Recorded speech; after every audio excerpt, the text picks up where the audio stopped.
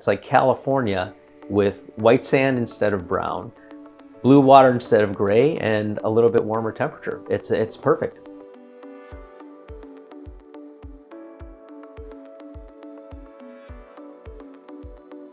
You know, I've been a venture capitalist uh, based in California, funding companies since 1991. So I've been doing this for almost three decades now. And I have to say that I have had an incredible run of luck with entrepreneurs that I have met in Australia and in particular Perth. A number of companies have been formed and are growing like uh, wildfire out of this out of this area.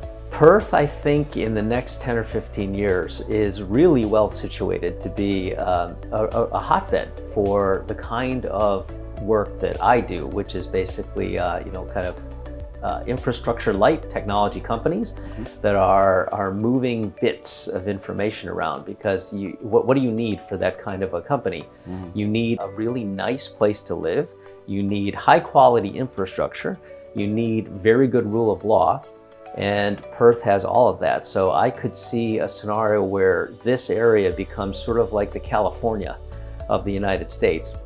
And when I describe Perth to my friends in California, I say, well, it's basically like this.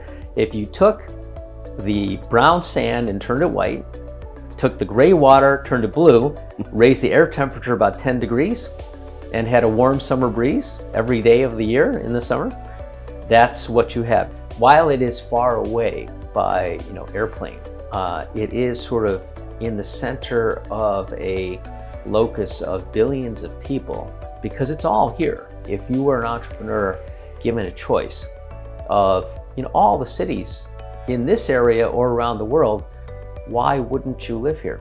This place could be just a wonderful place to build companies.